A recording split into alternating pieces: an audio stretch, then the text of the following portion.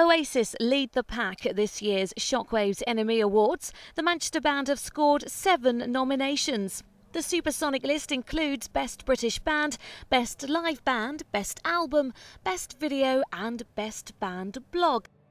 But then there are specific nods to the man Noel Gallagher, who's battling the likes of Brandon Flowers for Best Dressed and takes on none other than US President Barack Obama for Hero of the Year.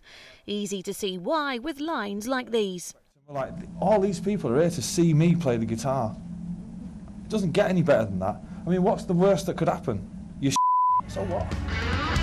Close behind come Kings of Leon with four nominations Best International Band, Best Live Band, Best Track, and Best Album. Fighting it out for Best Live Band along with Oasis and Kings of Leon are Muse, Radiohead, and The Killers. Meanwhile, Oasis go head to head for Best British Band with previous winners Muse, along with Bloc Party, Radiohead, and The Last Shadow Puppets.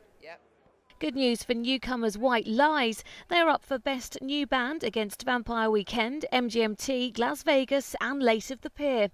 And after defying the critics and taking on the Glastonbury traditionalists, Jay Z battles Laura Marling, Lightspeed Champion, and Pete Doherty for Best Solo Artist.